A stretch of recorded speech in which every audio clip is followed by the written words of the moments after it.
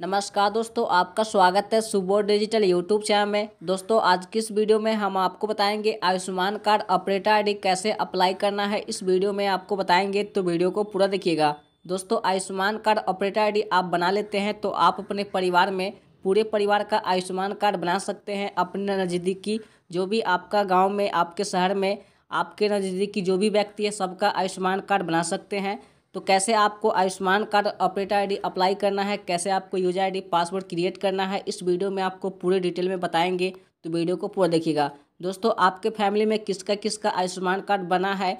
अगर किसी का नहीं बना है और किसी का बन गया है तो आप पूरे फैमिली का ऑपरेटर आईडी से कार्ड बना सकते हैं और आपका कार्ड जो है, एक मिनट के अंदर बन जाएगा और अप्रूव भी हो जाएगा। उसके बाद कार्ड को डाउनलोड भी कर सकते हैं।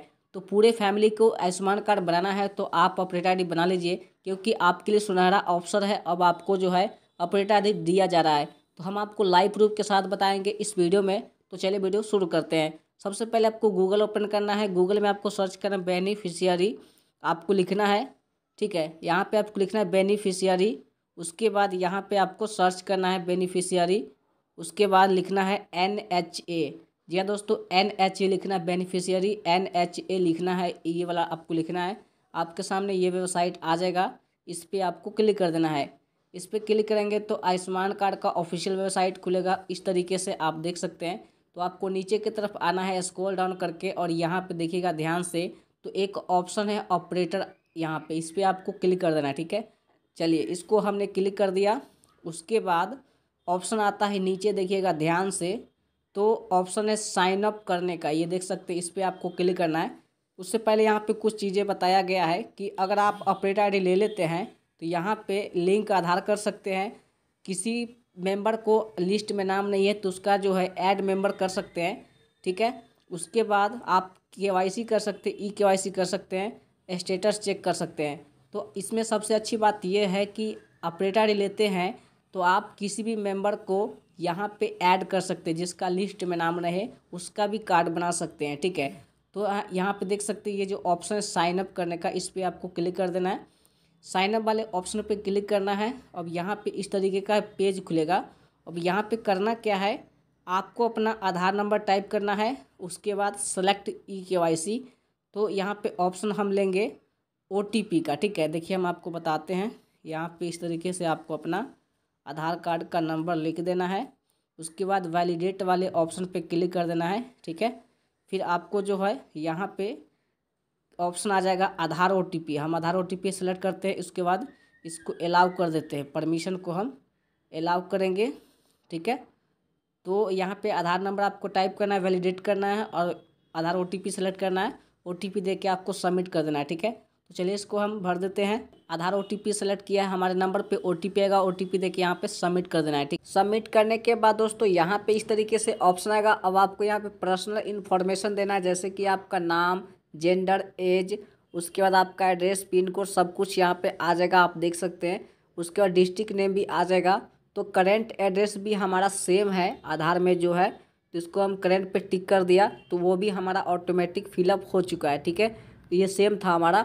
अब यहाँ पे आपसे पूछेगा एक ईमेल आईडी, एक मोबाइल नंबर, उसके बाद फिर से एक मोबाइल नंबर, ठीक है? तो यहाँ पे देखिए, अपना एक ईमेल आईडी आपको यहाँ पे देखना है, एक मोबाइल नंबर देना है, फिर से यहाँ पे ओ टी आएगा, जो नंबर पे ओ टी आएगा, उसको यहाँ पे भर देना है, ठीक है? उसके बाद यहाँ पे आपका फ़ोटो आ जाएगा, जो आधार कार्ड में है, ठीक है? अब यहाँ पे एक प्लस वाले पे क्लिक करना है एक फ़ोटो आपको नया वाला अपलोड करना होगा तो चलिए इसको हम सारी चीज़ें भर लेते हैं, उसके बाद नेक्स्ट करके आपको दिखाते हैं।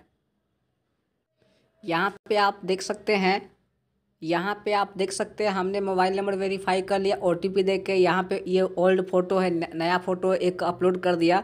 फ़ोटो एक एमबी से कम होना चाहिए, ध्यान दीजिएगा, ठीक है? उसके बाद नीचे आएगा आपको ऐड रोल डिटेल इसमें आपको सही से भरना होगा, नहीं तो आपका ऑपरेटर आईडी यहाँ पर अप्रूव नहीं होगा। तो यहाँ पे सिलेक्ट एंट्री में आपको जो है यहाँ पे देखिए ऑप्शन आएगा नेशनल हेल्थ अथॉरिटी ये वाला आपको क्लिक करना है, ठीक है? तो अभी जो है यहाँ पे हम कार्ड को ऑपरेटर आई लेना है तो यहाँ पे S H A Bihar select करना है, क्योंकि यहाँ पे आपका जो भी डिस्ट्रिक्ट हो स्टेट होगा, वो सेलेक्ट करना है। तो हमारा बिहार है, ठीक है? उसके बाद एंट्री टाइप में आपको जो है यहाँ पे कार्ड क्रिएशन एजेंसी टाइप कर देना है। एंट्री नेम में आपको जो है यहाँ पे ए एन एम सेलेक्ट कर लेना है।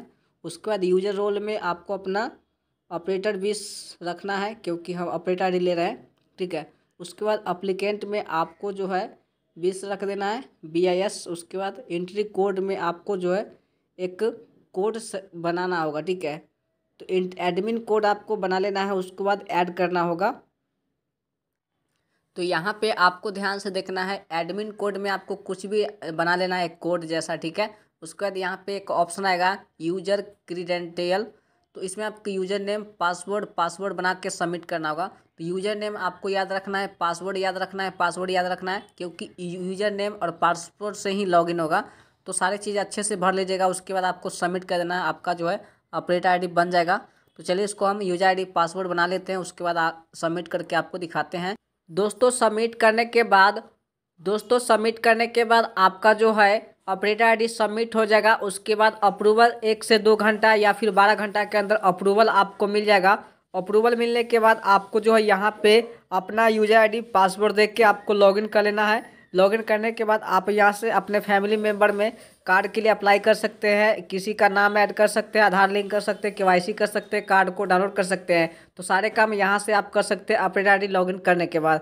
तो अभी हमने सबमिट कर दिया जैसे अप्रूव हो जाता है तो हम लॉगिन करके कार्ड अप्लाई करके आपको दिखाएँगे नेक्स्ट वीडियो में। तो आप लोग मुझे कमेंट करना तो उस वीडियो का डिस्क्रिप्शन में लिंक डाल देंगे। तो वीडियो आपको कैसा लगा मुझे बताइएगा। तो चलिए वीडियो समाप्त करते हैं।